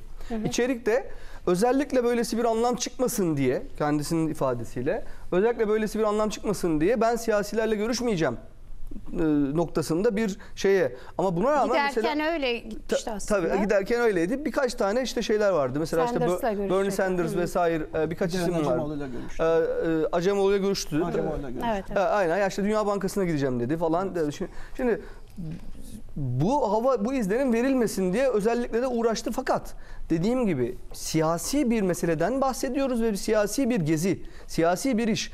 Sonra gel, gelindi muhtemelen eee, belirli sinyaller. Şimdi Washington DC'de belirli kilometre kare içerisinde bir sürü düşünce kuruluşu var. Bu düşünce kuruluşları aşağı yukarı mevcut Amerikan devletinin e, başka ülkelere ve başka ülkelerin siyasetlerine ilişkin geleceğiyle ilgili sinyaller veren yerler. Dolayısıyla muhtemelen buradaki sinyalleri biraz koklama ziyaretiydi. O, si- o sinyalleri bir görme ziyaretiydi. Yani bana Amerika gerekli desteği verir mi? Yoksa Amerika'dan gerekli desteği alamıyor muyum? Şimdi bunu da kamufle etmek, bunu da manipüle etmek için süreç içerisinde şöyle gelişti Meşru anladığım kadarıyla. kılıf. Bir bilimsellik. Şimdi bu bilimsellik e, yeni kuşağı e, tabiri caizse tavlamak için hani çok böyle süslü bir e, kelime. Bu süslü kelimenin altının dolu olup olmaması e, Kılıçdaroğlu ve ekibi açısından önemli değil. Bu kelimeyi ortaya atarsın. Birkaç tane laboratuvar gezersin. O laboratuvarlarda e, böyle bir e, müktesebatın olmadığı halde, böylesi bir e, akademik bir e, çevreden gelmediğin halde bunu bu şekilde pazarlarsın ve bu karşılığı olacak zan- zannedersin. Fakat sorun şu ki bu 80'li yıllarda ya da 90'lı yıllarda Türkiye'deki iç siyasi kamuoyu açısından ve gençler açısından bir karşılık bulabilen bir şeydir belki. Fakat şu an zaten Türkiye'nin gerek üniversiteleri, edeceğim. tabii gerek bilimsel çevreleri, gerek ARGE, gerek teknoloji ve gerek bilim hamleleri Evet. ee, bu, bu noktada aradaki makas çoktan kapandı ve böyle bir problemi ve böyle bir gündem yok Türkiye'de. Ya işte bizde olmayan bilimi gidelim Amerika'da bala bakalım laboratuvar gezelim falan. Ya bu hakikaten şey e, o, ama o asıl siyasi niyetin e, perdelenmesine dönük bir şeydi. Evet. Sizin fikriniz nedir? Ya ben birkaç açıdan bakıyorum. Şimdi hocamın ifade ettiği doğru yani konjonktürel açıdan çok yanlış bir zamanlama. Kılıçdaroğlu'nun Amerika seyahati. Ancak bir de şu açıdan bakmak lazım. Türkiye NATO üyesi bir ülke. Ve hala en büyük e, ticari partneri Batı. Dolayısıyla böyle bir ülkeyi yani Batı ile bu denli ilişkileri yakın olan bir ülkeyi yönetmeye talip bir siyasetçinin e, Amerika'ya ziyaret etmesi anlaşılabilir. Sayın Erdoğan da yapmıştı adayken. Eyvallah. Başkaları da yapabilir. Bu gayet doğal benim açımdan bakıldığında. Eğer yönetiyorsanız da olabilir. Yani ülkeyi yönetiyorsunuzdur. O zaman da gidersiniz. Bunlar gayet doğal. Ben burada beis görmüyorum. Ben zaten artık Kılıçdaroğlu da- aday olarak da görüyorum. Niyetli. Dolayısıyla gidebilir. Yani Amerika merak eder. Sen e, yönetirsen bunu nasıl yöneteceksin? İlişkin nasıl olacak benimle? O söylemek ister. Vesaire. Bunu gayet iyi anlayabilirim. Ancak e, Amerika ile şu anda aramızda çok ciddi konjonktürel sorunlar var. Yunanistan başta olmak üzere. Her gün Yunanistan'la ilgili ayrı kavga ediyoruz. Oradaki üsler üzerine ayrı kavga ediyoruz. Suriye üzerine ayrı kavga ediyoruz. Irak üzerine ayrı kavga ediyoruz. Ukrayna-Rusya konusunda ayrı bir yeri var Amerika'nın. Dolayısıyla Amerika ile bu kadar fazla sorunumuz varken e, Kılıçdaroğlu'nun bu ziyareti konjonktürel bir zamanlama hatası. Anlaşılabilir ama bir zamanlama hatası. Kılıçdaroğlu niye bunu yaptı? 70 yaşında bir siyasetçi, değerli bir siyasetçi.